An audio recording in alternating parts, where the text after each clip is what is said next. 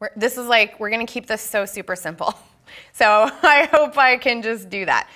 Um, all right, so here we have this text right here, and we're gonna change it from a, a flat two-dimensional type to three-dimensional type pop. We're gonna make it pop.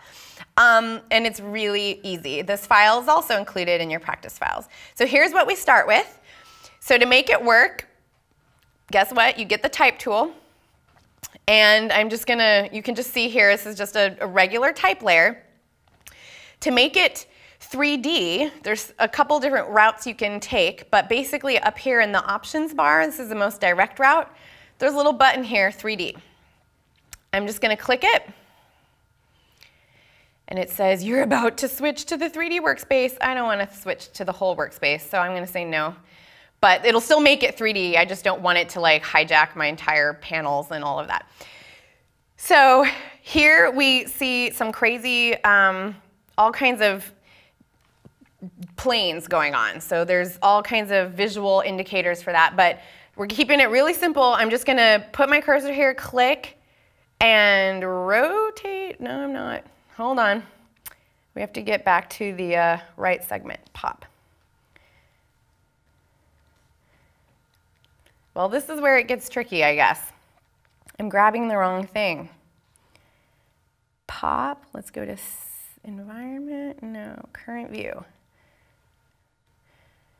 All right. well, if you can grab the right bit, maybe this guy. There we are. It's a little easier if you do it down here. When I try to grab in here, because you're working with like all the different planes. So you can grab it and tip it forward, backwards, sideways, like all this stuff. I have a very hard time telling which plane I'm grabbing and which plane I'm affecting. So you can see how messy that is. But if you come down here to this bottom left and you just click right here, you can see they've got red, uh, red, blue, and green. But if you click down here, it's a little easier to isolate what you're trying to do. So that would be my recommendation. This gets a little hairy. But anyway, down here we're orbiting the 3D camera so you can change the direction of your type. Isn't that just amazing? And you can see, look at, look at this 3D, like, here's the plane passing us by. We're going below ground now, woo. So anyway, it's kind of wild. So I like to have it kind of like this. And you can also um, adjust, adjust what's called the extrusion, which is how deep this is. If you open your properties panel from Window, Properties, and then in your 3D panel, which you may have not even knew, known that you had, but it'll open when you make something 3D. You don't have to go into the whole 3D workspace. You can just open your little 3D panel. If you make sure that you've got your object selected, you'll see all this crazy stuff, okay? So that's why we're keeping it simple because you could probably teach a week on just this. And I'm not your girl for that.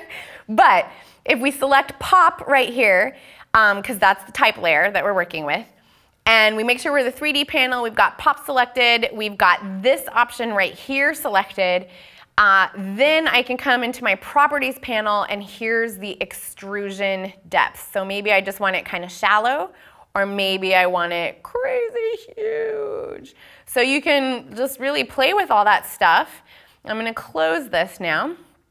And then um, you can see here's, here's where if you want to try to mess with the hairiness, you can see like you can grab all these different things. But I, have a, I can't for the life of me ever grab the right thing. So this is my, my way to go. But once you're done, there's no okay button. I mean, to get out of this craziness, you just uh, like switch tools and then life is back to normal. so it's a little bit crazy how you get in there. But if you grab the move tool and you're on um, a 3D layer, it's gonna pop up all this, all this craziness. So just kind of know that, I guess. And then this guy right here is gonna let you move the object so even though you have the move tool, that really just puts you back in the 3D world.